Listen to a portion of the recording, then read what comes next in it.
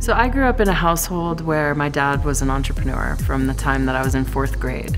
And that was the model that I saw as a young person. I love to work. I get as much satisfaction out of work as I do out of recreation. Definitely why I live in Crested Butte is because all I have to do is step out my back door and I'm exactly where I want to be every time. This is the place where I can combine all the things I love teaching, learning, and enjoying the environment.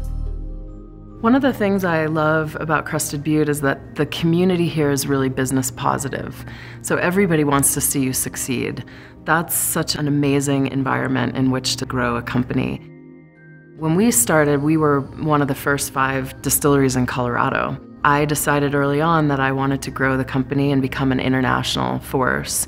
Part of the strategy for that is to be able to make more and more rum here in Crested Butte. It's part of our model to make it ourselves, to do things ourselves.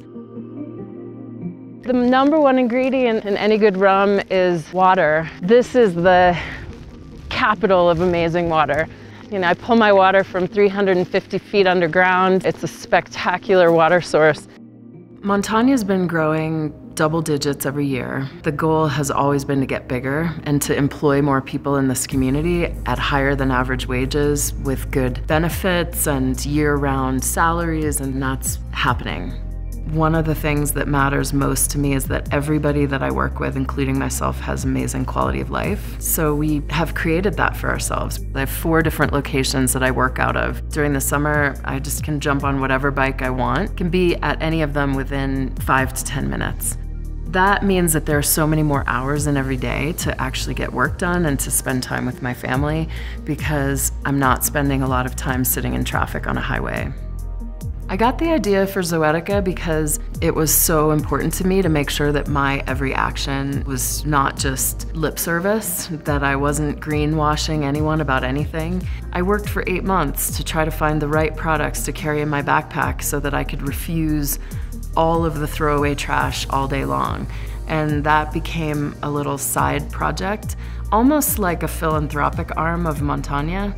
If we're gonna have this concept, let's model it, and then we create a ripple effect. And that feels really good to me.